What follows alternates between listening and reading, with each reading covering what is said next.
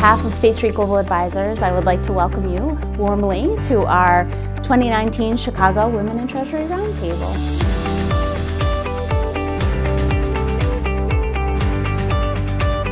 The whole purpose of these roadshows is that we can listen to and learn from you and also you can listen to and learn from one another.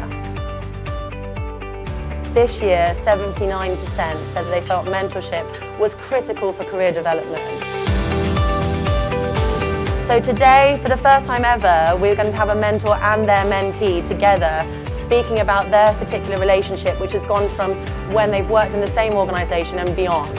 One of the things that I feel like is important in any mentor-mentee relationship is trust and like open, honest uh, communication with one another. I think that mentoring from your heart and really understanding people and you have to holistically evaluate what's going on with the relationship and find someone that you, you do click well with, that you have some level of understanding that, that you trust and that you know can help provide you with guidance and and honestly open listening.